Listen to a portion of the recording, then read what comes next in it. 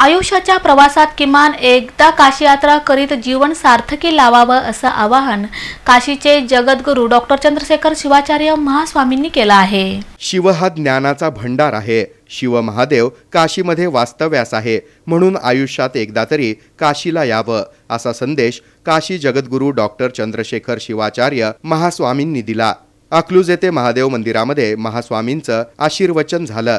प्रारंभी महास्वामींचं पाद्यपूजन चंद्रकांत वैद्य देशमुख यांच्या हस्ते सपत्नीक करण्यात आलं. यावेळी बसवेश्वर बहुउद्देशीय संस्थेच्या वतीनं एकशे एक वृक्षारोपण आणि एकशे एक वृक्ष वाटप या कार्यक्रमाचा शुभारंभ महास्वामीजींच्या हस्ते करण्यात आला.